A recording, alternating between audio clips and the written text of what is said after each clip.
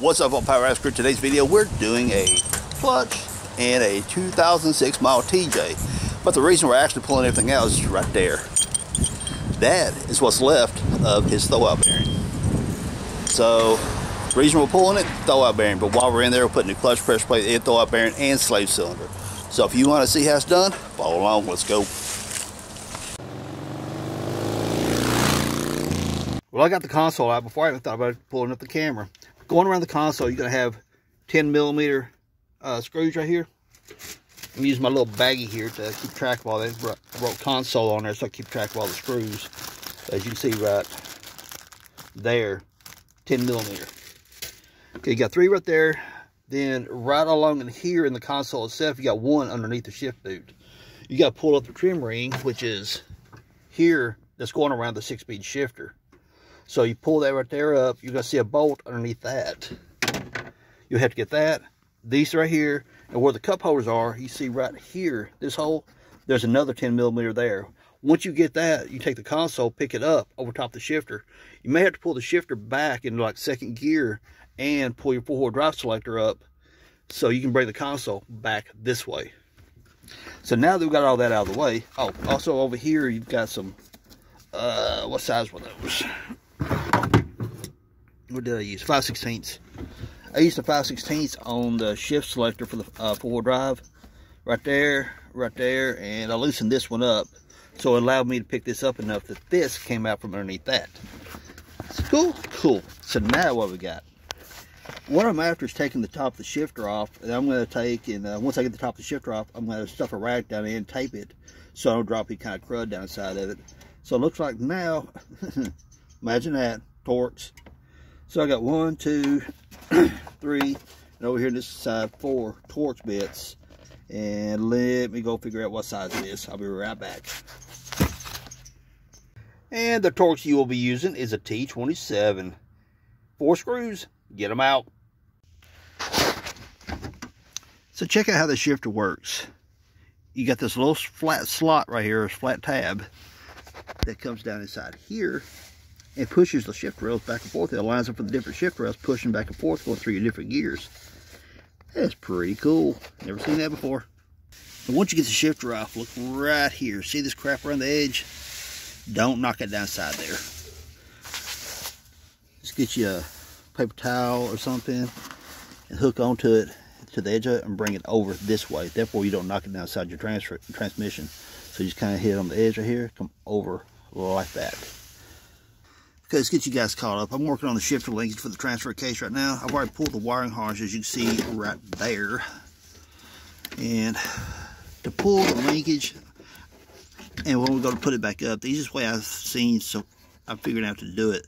You see where the light's hitting down next to the yoke, right down, oh, right there. That's where the transfer case shifting linkage hooks onto right there, which we have it hanging right there because I took that arm right off. Now I'm working on taking off this bracket right here because the shifter linkage for the transfer case pivots right there.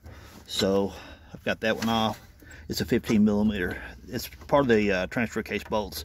The other one's way down here and I just about got it off. So taking that off is going to allow us to move that linkage back out of the way enough that we can drop the transmission and have some of that stuff out of the way. Okay, got the drive shaft dropped, 8 millimeter. Got the little straps that Chrysler normally uses. It goes out and around your slip shaft. TJs are different from a YJ. YJs, you got the, the slip yoke that goes up inside the transfer case. TJs actually have a spline shaft comes in out right there. So cut that wire tie. And we'll pull it out. There we go. And you gotta get that boot off right there, which we'll do that in a moment. But I'll show you guys something on the speed sensor. The speed sensors are the output here of your transfer case. Look right there. See that little orange tab? It goes all the way through here. Let me press it in just a little bit. You can see the edge of it right there. So you take and you push that tab through. It has to stick out by 16th of an inch or so. Then you're able to push this and it'll slide off the speed sensor. And once you get your 8 millimeters out here, so we'll get this yoke. Get this boot off this thing because I want to stick to it. Got your slip shaft. Okay, we got underneath this drive shaft so I don't myself in the head with it. Ah, ouch!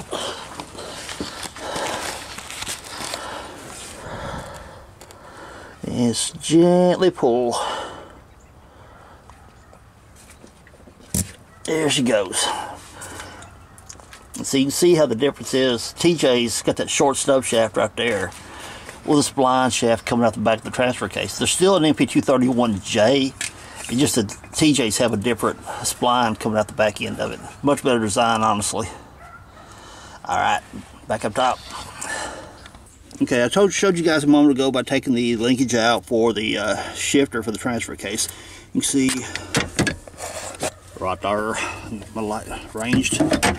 It's starting to get a little dark out here. You got, I got my wire ties right here holding that bracket, by the way. Got wire ties right there holding that bracket, by the way, so when we drop and raise the transmission back up, it stays out of the way. And also right there, you see the shift arm for the transfer case. I wire tied it up to where it ties into the body right there. Again, that prevents us from, when we raise the transmission up, hanging it, getting in our way and stuff. Uh, got the rack stuffed in there to protect inside the transmission. That goes down to right down side there. Oh, wait, this one here goes right there. That's where that one goes. Uh, heads up, people. It's got tab top and bottom. Squeeze like this. And it'll put unplug right there. And that one goes right down here is your four-wheel drive shift indicator. Right. Bring it back around this way. There. See the top of that sensor right here? That's your shift indicator telling you what your your four-wheel drive and stuff like that. Just pull that tab back right there unplug from that. Then you got these little Christmas trees here. Grab hold of them and they're in like little holes. Where's one at? Right there. Like a little hole right there. That's where this one was stuck at. Pull out. Uh, my camera you see it huh pull outward like it's right here but wiggle it back and forth you'll walk those little Christmas trees right out of those holes no problem Alright, so skid plate's pretty well loose. So, I don't know, check back in a bit. Okay, next step, 18 millimeter, take your transfer case bolts out and your motor mount or transmission mount right there, 13 millimeter or half inch. Now before you start dropping your skid plate, be sure to have you a jack or something underneath the back in the transmission here to support the weight because once you remove all this the transfer case transmission everything all the weight's going to start dropping back. So I have right there on the back there's the transmission supporting it there. So I get ready to move the transmission back I'm to put my transmission jack under the uh, uh, transmission transfer case allow that to support the weight while I work on the bell housing bolts and as right now, I've got one bolt on this side, one bolt on the other side holding the skid plate up. And you see as we're creating the gap here as we're loosening this one up. I got this foam block underneath that to support to support as it drops down. But what I have to do is take and loosen this one up, come over and get this one just about ready to come out, and then go over and get that and over that side, get it just about ready to come out then allow it to come down on that block and we'll be good to go. Or you can put a uh, big jack underneath it and lower it down that way. Or if you got two people, you can do it that way. Or I don't know. There's lots of ways of doing it. Now that we got the skid plate out of the way, your mount here, unbolted for the bottom of the uh, transmission. But that also has your exhaust hanger hanging up there. So what you have to do is loose, take these uh, 15 millimeter, take a 15 millimeter, take those bolts out, this mount will swing down and you'll be able to unhook it from the exhaust up here.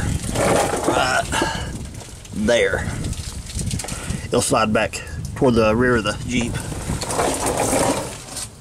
So, yep, take them out. Got the slave cylinder disconnected here. We're actually taking out the bell housing.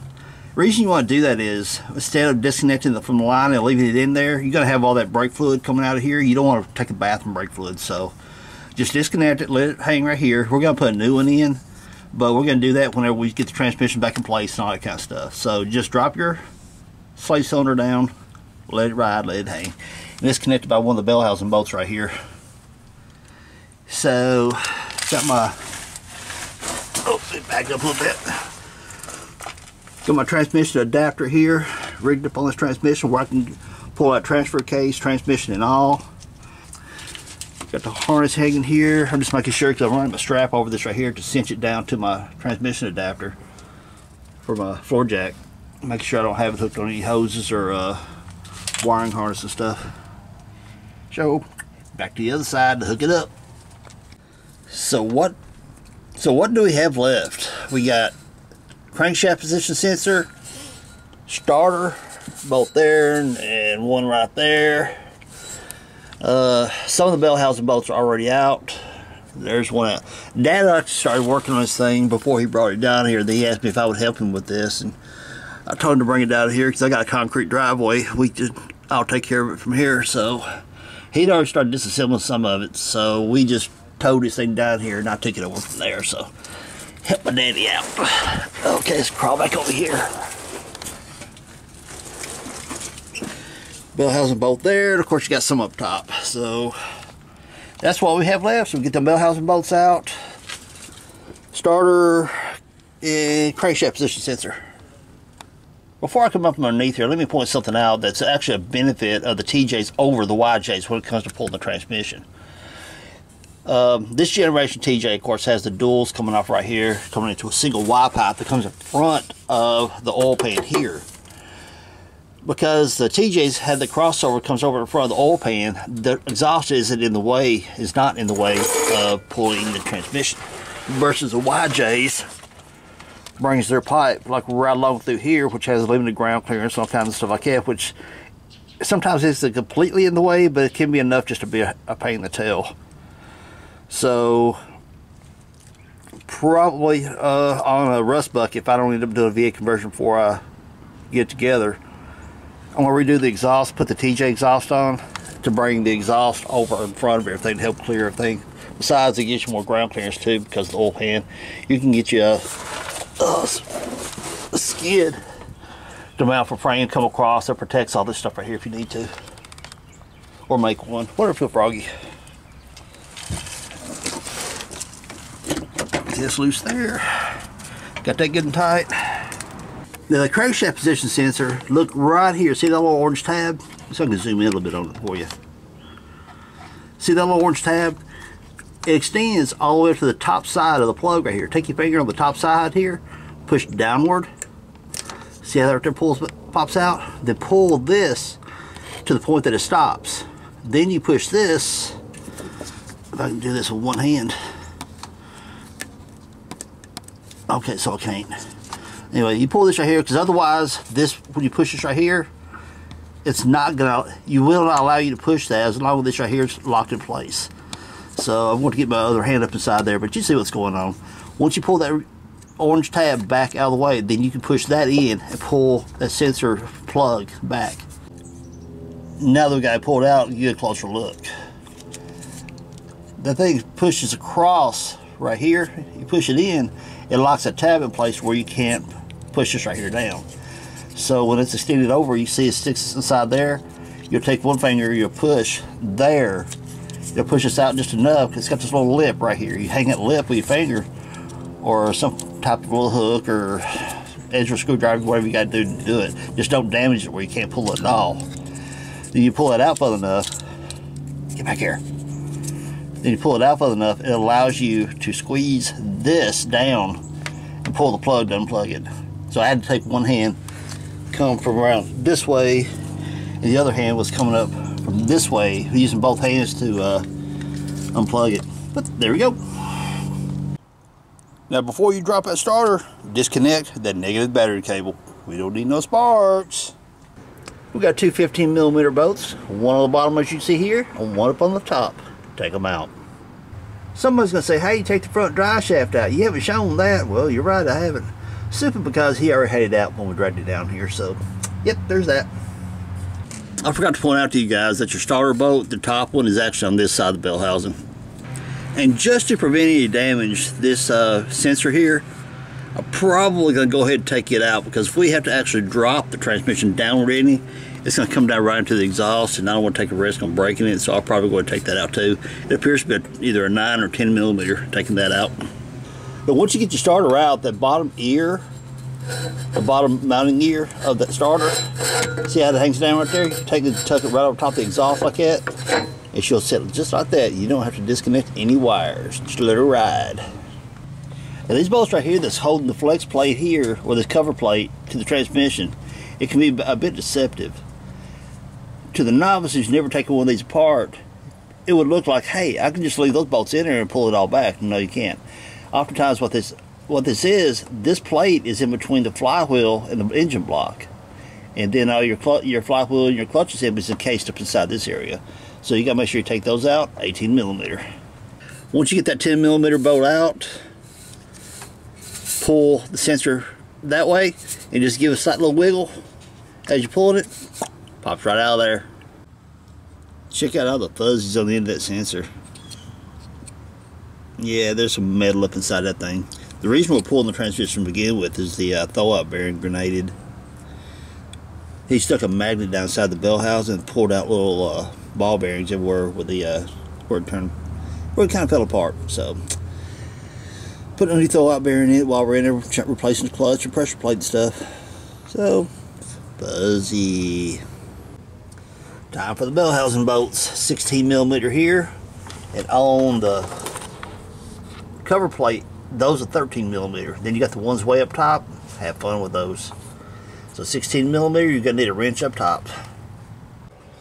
Now you got two bolts right down behind the valve cover. Yeah, exactly. I know what you're thinking, I'm thinking the same thing. No fun.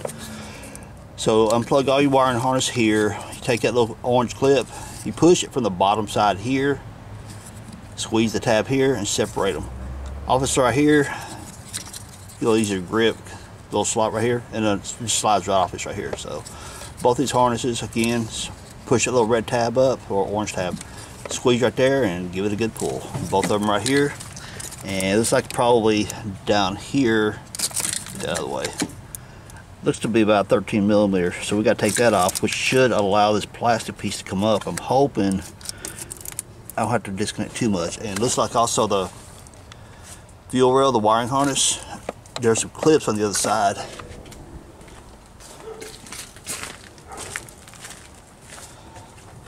See right there, you're going to separate all that to allow the harness to come up out of here. You probably have to unplug at least two of your rear injectors. So, thanks Chrysler, made it easy, not. Okay, change of plans. Notice I pulled the transmission jack back out. We were looking at that those top bolts way up there, and Dad says, "Hey, wait a minute, let's try something." So pulled the transmission jack out, put that jack in, supported right here to control how much drop we get out of the transmission transfer case. because the transfer case is back here, you got a lot of weight for leverage, which is pulling that down. That's torquing the motor mounts a little bit, but we still got this supporting that to keep from torquing the mounts too hard. So what do we gain? Look, I put this bolt back in right here to keep the bell housing tight to the block. But way up there, look at yonder, those bolts are wide open view up there. So instead of fussing and cussing and inventing new cuss words, try in from behind that head to get those bolts up there, drop the transmission back, see how far it's tilted? Dropping it down like that gave clearance to the top of the bell housing. So that's going to be easy to get up there with the socket. And my phone's going off telling me it's time to go to work. So it's easy to get up there with a socket to take those bolts out. That, he had a genius idea. That's where I get my smarts from, huh? But, caveat, put bottom bolts back in because at the way it's tilted right now, if you take those two top bolts out and you got the rest of these out, guess what happens? That transmission is going to separate from the bell housing and you may end up with a transmission laying on the ground. Not cool. Or broke. Yeah, exactly. So put your bottom bolts back in here, one here, one on the other side. Being on the bottom, they're going to be easy to get. So once we get all the top crap out of the way, transmission jack goes back under the transmission, pick it back up and level it, take out the two bottom bolts, the whole transmission goes you know, that way. See? That I was actually dreading that harness up there, I really was. But yeah, I see one of the bolts right there. And on the other side, it's just going to be, I think that's, Nope, not quite see it, but I know where it's at because right there at the end of my fingers where the wiring harness splits, the bolt is right below that. So either side with an extension and a good torquey ratchet, you're good. Sweet. So here's the scenario. We have got two bolts in the in the bell housing. Got one up here. Dad's taking that one over there. That's what's holding the transmission in place at the moment. Transmission jack back in place, strapped around it on the adapter plate. Wayne's going to pull it back that way. Keep a jack under your oil pan. Yeah, that's what that thing's called. to support the engine because once you pull all that loose, the engine's going to want to drop back. So keep all that supported. We're going to take these two bolts out, pull the transmission back. Ladies and gentlemen, here's the reason we are pulling it. There's the throwout bearing. What you think? Think we can salvage it? Me either. A little grease. Charlie. Put a little grease in it. Too darn old to be dumping the clutches. No, I don't do that. So yeah, Dad was out and this thing, the clutch went out in, so we had to bring it home using.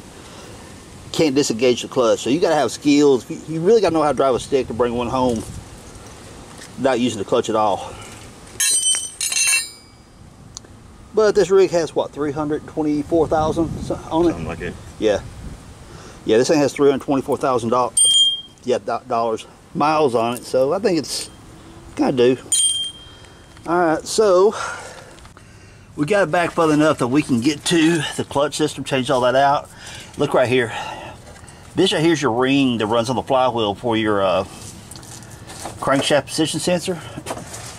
Crankshaft position sensor senses these little teeth coming around through here, and every time it hits that little gap area right there, it says, "Hey, there's a gap. It's time to shoot a signal." So every time you miss that signal right there on the sensor, that's what tells the ECM says, "Hey, I gotta shoot firing." So just a quick little tip there for you. So we gotta go around this clutch plate, take the bolts out, and yep, get that rascal out and see what kind of shape our flywheel's in. So I'll be back in a bit. So what we got going on here, he breaks them loose with the ratchet there. I'm holding here, and Wayne's up front holding the cranks to keep the engine from turning. And I got one right here. Yeah. I got it. I thought it was enough. Huh? So I thought it was loose enough to turn by hand. Well, you also got the, the clutch plates coming out on it too, the pressure, uh, spring pressure, pushing on it so it'll tighten those bolts up as they come out. Till get to a certain point. It's finger tight now if you want to get it where you got it to, so. There we go. It's out. Rotate. Hang on, I can, I can rotate it. Okay. Let me rotate. Alright. A little more. Okay.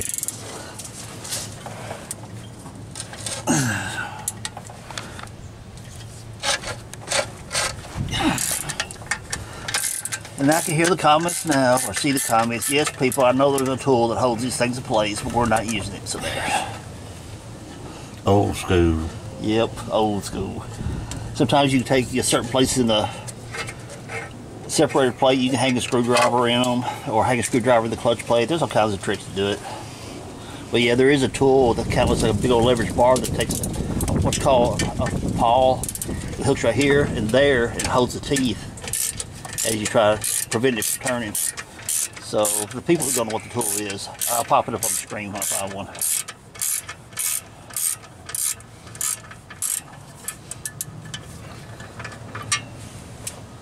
Fancy tools? We don't need no fancy tools. yeah, that's right. We've been doing this stuff for a long time. In your video, you need to tell them people when you take that out, it will fall and it bust your head. You sure enough will. So we got this pressure plate out right now, as Dad just mentioned. Whenever you're taking, you show seen that last shot that we're loosening the bolts and stuff. You need, if you're working by yourself, you need to try to set it up to where you can have one of your bolts either as low as possible, because then if it's sitting low, the clutch uh, pressure plate will want to set back on you. They'll give you a chance to hold on to it. Now, if you got your bolt to the side and you're working by yourself, what's going to happen? It's going to want to roll on you. Roll, pivot on that bolt. It'll smack you right square in the head, and they hurt. And they hurt bad. They'll lay that noggin wide open. Look right here where that throw-out bearing was eating on the fingers. Chewing it up. Clutch plate. Drive shaft get. Dad talked about the front drive shaft, smacked him in the noggin. Going through Clutch is good. We're not reusing it, obviously. And, uh, And the surface, we got a little bit of heat marks. Got a little groovage right there. See what the flywheel looks like. I'm not sure how well the camera's gonna pick it up at this angle and what little light I got, but overall the flywheel looks really exceptionally good. I see a couple heat spots here and there. Like right that area there, I got a little bit of heat spot going on, but there is no heat fractures. I mean, it's actually smooth. and I have no issues running it just like it is. Don't need to surface it or nothing. But one thing you gotta watch about resurfacing these flywheels out of these Jeeps, as I pointed out earlier, so my flashlight stand up, these fingers right here, if you resurface the flywheel, they take uh, what's called blanchard. And what it does, with turning the uh, rotors, they cut them in a rotary fashion. It's like it's spinning and the cutter comes across like this. On a blanchard, it's a it's a big flying disc that the blades are coming around like this right here. So it cuts a circular pattern across the surface of the flywheel. The problem of it is you got your reluctor ring here that your uh, crankshaft position sensor runs off of. You're also going to shave that. So more times than often, that if you're going to have to resurface one of these flywheels, you're better off just buying one. And I haven't checked on pricing on one in a long time, but they're not as expensive as you might think they would be. And just for kicks and giggles, I'll drop a link if you guys need to buy one. I'll drop a link to one of these. This is a 2006 model TJ 4.0 liter sport. So I'm gonna get me some cleaner and we'll wipe that flywheel down and say, ooh, it's pretty. And stick the clutch in and put her back together. And just for your educational reference, this is how it's supposed to look. Not like that.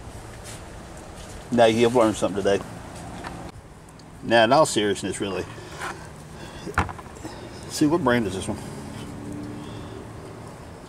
The clutch kit, which is a very popular kit that they use in the Jeeps, is a Luke or Luck or whatever, LUK. Very popular kit that many of the Jeeping community uses. But here's where the throwout bearing is supposed to look. What happens is on the uh, pressure plate, when you press in the clutch, this surface right here pushes on the diaphragm fingers of the clutch, disengaging it. Another thing you want to check too is on the wear point here. Like I said, this rig right here has got 324,000 miles on it, but it's been very well maintained since Dad got it anyway. Not the person before him, not so much. So, no issues inside there. My wear points are good on my fork. All good there. I have seen holes in those. Mm, yes. But look at the difference between them. Look at your pad surface here. So we're going to get on the flywheel. I'm going to take a razor blade, clean up the flywheel just to accommodate this extra surface area here because it's pretty narrow. Actually got a lot more clutch with this right here. And this is, again, it's a LUK, Luke, Luck, whatever you want to call that kit. Very good setup. That's going to hold a lot more friction and give you better performance. It's a DAC speed shift again. He didn't hear me say that. Eh, I wasted that joke. So as I was saying with a throwout bearing, here is your clutch fingers for the diaphragm. It rides right on top of it like that right there. So when you push your clutch in, it pushes in that diaphragm. When it pushes in that diaphragm this way, what happens, it pivots inside here in the middle. When it pivots, it pulls this backwards away from your clutch disc, therefore disengaging your clutch. So whenever you let go of the clutch, throwout bearing pull, retracts back, the fingers go back this way, allowing this pivot back forward, engaging your clutch. See what I'll do. I'm to keep that clutch right there. I've got a hydraulic press, and I'll demonstrate on how the clutch system works. Sound good? Sweet. Be sure to subscribe for that video. Okay, you see right there is your pilot shaft bearing upside here. And we were just checking it out because you know, are we going to change it? Are we not? Whatever. And also, it feels good, and the camera, at least according to my viewfinder, ain't picking it up very well. It looks exceptionally well. And so we're just going to grease that bearing and let it ride. I know I'm going to catch some crap for that in the comments, but hey, have fun. So just to satisfy my own curiosity, since I have so much more pad here, I wanted to put that up there. We got the uh, pilot shaft bearings located in place and looking at where it is. I mean, the overall diameter is good, riding good, because you want to make sure it's not a bigger diameter, which you can do that with your old one, to compare it. But it's going pretty deep inside there. Dad and I both had to razor blade to it. We're not scraping anything off of it. That flywheel is absolutely in excellent, excellent shape. So at this point, we're going to slap a little grease in that pilot bearing, and we're going to put this baby back together. All right, people, y'all want to answer a question for me? Why do they have this other thing right here and here? Because it snaps in the back of this. Then they got this. But I ain't putting it on that finger. I mean, you make a pretty little ring out of it. Oh, as Wayne said, you said green ladder, and we got black ladder. And there we go. Yeah, that's it. That's what it's for. We can role play. Yeah. Oftentimes for the factory, these uh, flywheels and clutch plates, any type of metal surfaces will come with a protective film on them. Get you some brake cleaner, spray it down real well in a rag and clean it off. Because he, weirdly enough, actually we were discussing this a minute ago because Wayne's TJ has got a little grab in the rear uh, brakes. And we were discussing this a minute ago that it's weird how water will make your brakes slide or even on a clutch will make it slide, but you put oil, oil slick. Oil is a lubricant. But yeah, if you get oil on your brake pads or your brake or your brake drums or even on a clutch, it'll grab. It's just totally weird. But little brake cleaner, wipe all your surfaces off good, put her together. You need some brake cleaner. So what you guys didn't see is when we was pulling the, the uh, throwout bearing off this uh, sleeve right here, that it was coming off like not so easily. So we got a bunch of slime and junk, and plus where that bearing come apart, it just metal dust on it, honestly. So taking brake cleaner, rags, and a Scotch-Brite pad, clean this right here up real good. And out here with the pilot bearing, I'll clean up all that stuff is up good. Then put you a light film of grease on it to make sure your, your pilot bearing, I keep saying pilot bearing, push, throw bearing, there you go. Make sure you throw that bearing slides like it should. So get all that junk off, make sure it's good and clean so you got proper clutch engagement. Look at that, ain't that so much more pretty? Got all that junk off of it. Basically, all I ended up doing first, old rag right here, spray brake cleaner, wiped all the junk off first to get all the major grime off. Scotch-Brite pad, soaked it down with brake cleaner, scrubbed it real well, make sure you had no anything stuck to it. Even out here on the pilot bearing shaft. Now, uh, Dad and Wayne was actually discussing the, you know, the roles of the pilot bearing, and they made a very good point. Something I want to explain. Back inside here, you've got the bearing that's back inside the case here. Shaft comes out, then your pilot bearing rides right here. The pilot bearing technically really has no pressure on it whatsoever, especially when you're going down the road because your clutch disc is holding this in place, keeping this all in alignment. When you disengage the clutch, of course, then the clutch is uh, free floating on the shaft here while your pressure plate is spread, it to free float. Basically, the only role of that uh, pilot bearing is that it keeps this right here shaft centered amongst the bearing inside here. Now, if your bearing is worn, shows any kind of grit or something like that, you definitely want to change it out because it's going to allow this end plate right here to shift you back and forth, which will in turn start eating the bearing inside here. So, I know I'm to catch it the comments about us not changing out the uh, pilot bearing, but I promise you it's really super smooth up inside there. So, they're kind of a bear to get out. I've got the special tool it takes to pull but we don't have a whole lot of room uh, we could drop the transmission, take it on out, but like I said, the bearing's in good shape. We've greased it back up, and we're good to go. So at this point, Dad's got the clutch and pressure plate sitting over here waiting on me, and I'm gonna close my mouth and put this thing together. Yeah. So we had our hands full, couldn't exactly hold the camera, but basically what happens is you take one of your bolts here, go as high as you possibly can. If you get to the top bolt, put the bolt alignment in it. Don't worry about the clutch plate yet get one bolt in, and that'll support the weight of your pressure plate. Then you take your pressure plate, move it outward like this, and put your clutch disc in, and with the uh, spring bulging outward into the pressure plate, I'll show you that on the old one. And uh, then take your alignment tool, which you see right here, right there, there's your alignment tool. It slides into the splines. You move your clutch backwards and forth, up and down, because you got one bolt in place that you can pivot your disc back, your uh, pressure plate back and forth. That allows you to have a center line to where you just rotate it back and forth and keep pushing on your alignment tool, and all of a sudden your thumb goes doop, it'll pop right inside that pilot bearing. Then put your rest your bolts in by finger, then go around it. Don't tighten one and just crank it down. Go around it, around, around and around until you get the clutch plate, pressure plate pushing in evenly. If you torque one side down, it makes the whole uh, disc system in a torque twist. It does not do well. So go around it, gently tighten them all down. Then they torque down to, what was it, 38 pounds? Yeah. All right. So your clutch plate, 38 pounds. Now as we put the clutch in, look right there, see how the springs step outward and this side's flat? This is gonna go inside your pressure plate like that. This side right here goes to your flywheel. So again, come back to reiterate something, whenever you tighten these down, if best you can, I know some of way up here in the middle of nowhere, crisscross them out to make your clutch plate, your pressure plate come in evenly. But what's gonna happen, you gotta think, oh, it's, no, this was tied, these come over here, it's like, why is this one right here sticking out this far? That's because as you come around your crisscross pattern, you're pushing the clutch pressure plate in toward your flywheel, and it's gonna create those gaps, so you just gotta keep crisscrossing around till you get them all in evenly, and then you just start tightening, ti- bleh, torquing them down to 38 to 40 foot pounds, or pound feet, yeah, whichever Yeah, this, is. this is about the third round we went. Yeah, it's about the third round. And see, there, there's not touching, but he's gonna come in. Okay, now it's touching the plate, and now it's on the flywheel. So bring them in slowly, because then you got even pressure amo- amongst your clutch plate, and you're not torquing or twisting your pressure plate. I mean your yeah pressure plate. I'll get right in minute. Can y'all tell I don't script this stuff? All right, go ahead. You can do it. All right, after you get everything torqued down to 38 to 40 foot pounds, or I'm not going to tell you what happened on my torque wrench. It was kind of, I wish I had the camera going. You guys just missed a funny moment.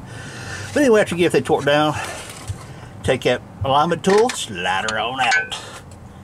Now, at this point, what we're going to do is have a lot of fun getting the jack aligned and the transmission aligned to get that spline to go inside the clutch plate. Once you get everything tightened down, the clutch plate's not going to move anymore. So at this point, we're going to have fun putting all this in. Now, before we do, we're going to get a little bit of grease for the, for the pilot bearing, uh, the push, golly, throw out bearing, where it all bit rides, like I mentioned a moment ago. Get all that greased up, cleaned up. We got to put our fork in. And yep, we got to do that. So go find me some grease. Get your throw out bearing snapped onto your fork. Put clean it real well. Put you some little grease in the pivots right here.